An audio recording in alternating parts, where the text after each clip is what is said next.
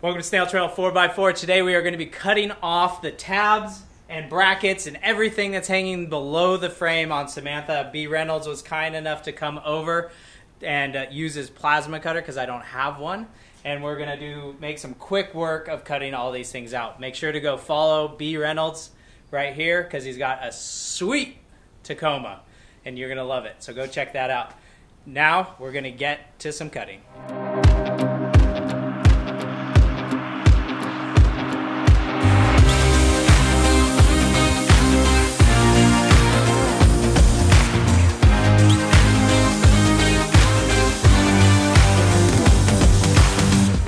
So, how do plasma cutters actually work?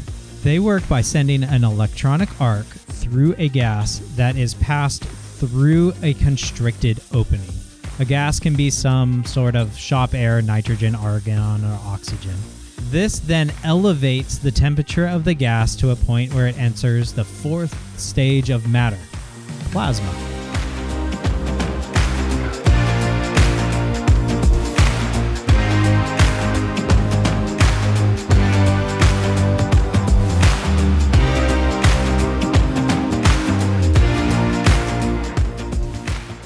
Next step now is to go through the frame and clean up everywhere that was plasma cutted with some sort of grinder disc, flapper wheel, or something like that. It was a massive, massive help to have B. Reynolds come with his plasma cutter and cut these brackets off, but I still have to do some grinding to clean this frame up just a little bit more.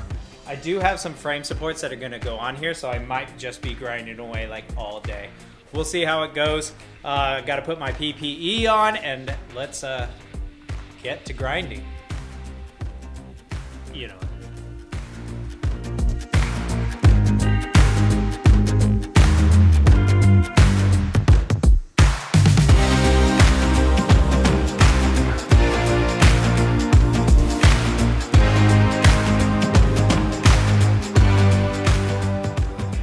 So you see how I'm grinding right here and on the other side and on this level, but between the where the weld was is not getting hit. Uh, that's because the flapper disc is soft. It's, uh, you know, it'll bend down and warp. And where the high section is, it'll actually push down on either side while you're pushing down along that ridge. And so a trick that Hustle Nuts uh, told me was to use a cutoff wheel. Now a cutoff wheel is rigid and it won't bend and it's not doesn't have like the sandpaper layers on there. So when you are going across this ridge, it's only gonna hit that ridge and it's not gonna hit the sides. You'll know when you get low enough because then you'll actually start uh, cutting into the metal that's on the outsides right next to where the weld is. So I always usually grind with the flapper disc to get it pretty dang close because it's uh, a little bit more aggressive and then I um, use a flapper wheel to get it um, really fine.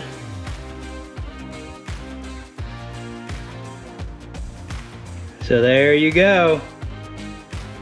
All nice and smooth and flat. I'm super happy with that. And you can see how that thin disc definitely helps out right there in that last little section. All right, so now what we gotta do is we just gotta continue to cut all the way around this entire frame uh, or just clean it up a little bit. So roll some more time lapse.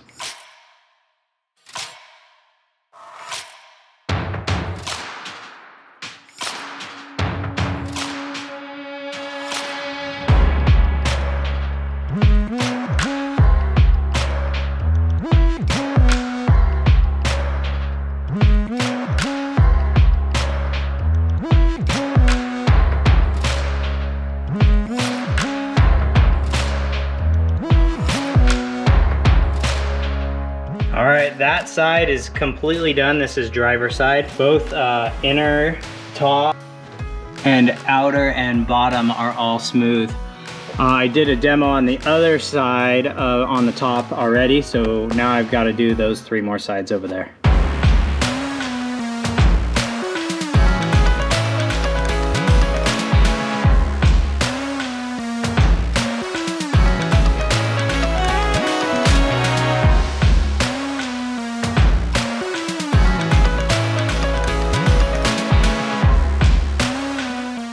So I've got one more thing that I need to attend to on the frame. That's because we nicked it a few times with that plasma cutter and we cut in some little grooves. Those grooves aren't that big of a deal, but what they could cause is the weak spot of a frame and cracking in the future. So what I'm gonna be doing is I'm actually gonna be taking my welder and filling those holes in and then taking the grinder and then grinding everything nice and smooth and back to the way it's supposed to look. So that's what we're gonna be doing today. I'm gonna finish up this frame and then we're gonna be uh, moving on to the next step, which is actually quite different than what I had anticipated. Um, and you won't see that until the next video. All right, let's get some slow-mo rolling and uh, get to welding.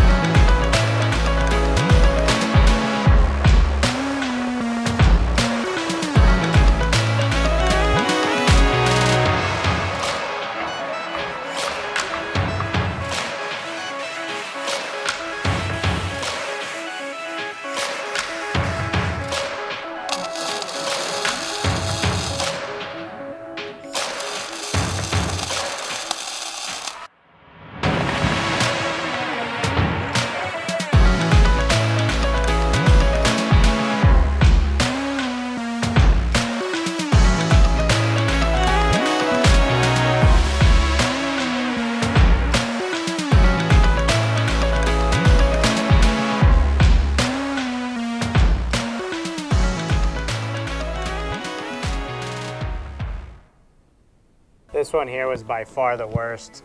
It like that hole up top there actually goes into the frame and there's a few cuts right back in that area. So this one I'm gonna have to be careful to weld on.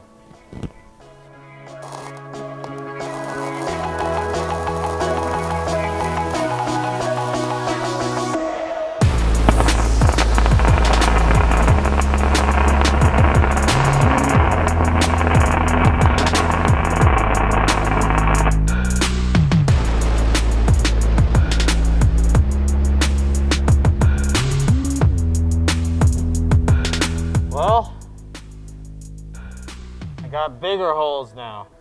I'll probably have to cut some metal and fill those in, but I'll probably consult with Hussman to see if he's got a better idea. Uh, he is uh, the better fabricator, that's for sure.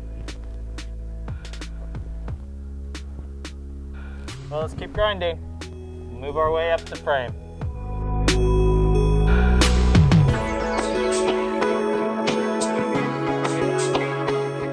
So I was grinding along and um, I found that there was a few spots that I missed or I need to put just more weld into the, some of those locations. So I'm gonna have to go back and do this another time and I might go back and do it another one if I just miss more. I wanna get this frame as spot on as possible. Um, but I'm not gonna take you along on that journey. You already saw how I've kind of been doing it. Now I do have the big holes in the back that I'm leaving for now. The ones that I, whenever I was welding them, they're just burning and getting bigger and bigger. And I'm gonna talk to Hussman and figure out how to go about doing that. If I should just weld a piece of metal over it, plug it, or if there's a way a good um, way to fill that. I'm not sure. And if any of you guys out there have any suggestions for me, I'm all ears. I'm really stepping out of my comfort zone in doing this project, and I'm not like the best fabricator in the world, but I am definitely eager to try and learn. And I hope that you guys out there are going to help me learn as well. Please give me tips and tricks that you guys know. If you see me doing something wrong, please be a positive reinforcement and uh, help me grow and become a better fabricator. Um, I would really appreciate that. So uh, that's I'm going to end this episode here. I really appreciate you guys watching. Hammer down on that subscribe button. And like always, my friends, don't forget, keep crawling.